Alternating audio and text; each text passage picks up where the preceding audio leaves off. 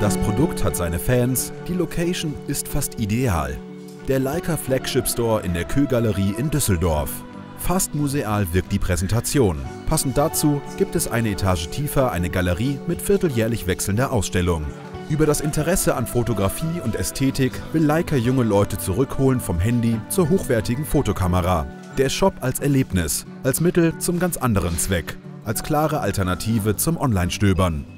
Das eine ist, das, ist, der Bedarfskauf, den kann ich online tätigen oder ich kann den bei Aldi machen. Ich fahre mit dem Auto vor, ich packe ein, ich fahre wieder zurück. Und das andere ist, auf der Köhl zu flanieren und sich inspirieren zu lassen von den schönen Dingen, von dem Glitzer da draußen.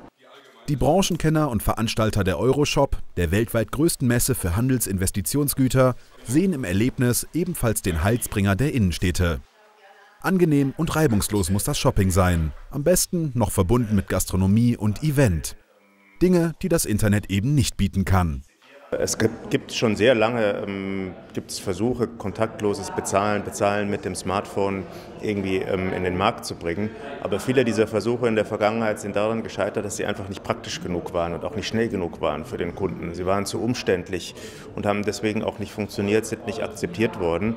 Ähm, das beginnt sich jetzt wirklich zu drehen, ähm, weil eben Systeme auf dem Markt sind, die es für den Kunden extrem einfach machen. Auf der Messe Euroshop selbst wird es unter dieser Überschrift viele Angebote geben.